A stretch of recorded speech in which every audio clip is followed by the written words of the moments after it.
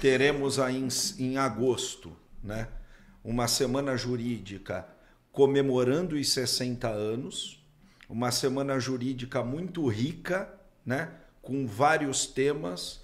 Já temos a confirmação do ministro André Mendonça, do Supremo Tribunal Federal, do ministro do STJ, Paulo Dias Moura Ribeiro, que é professor da nossa instituição, do presidente do TRE, é, de várias autoridades, né, palestras do direito e fora do direito, né, para que nós possamos então enriquecer os nossos alunos, porque isso é muito importante, Adriana, Anderson, Cleiton é, o direito ele é importante, mas também são importantes outros outras searas uhum. que complementam, que ajudam até a compreensão do direito.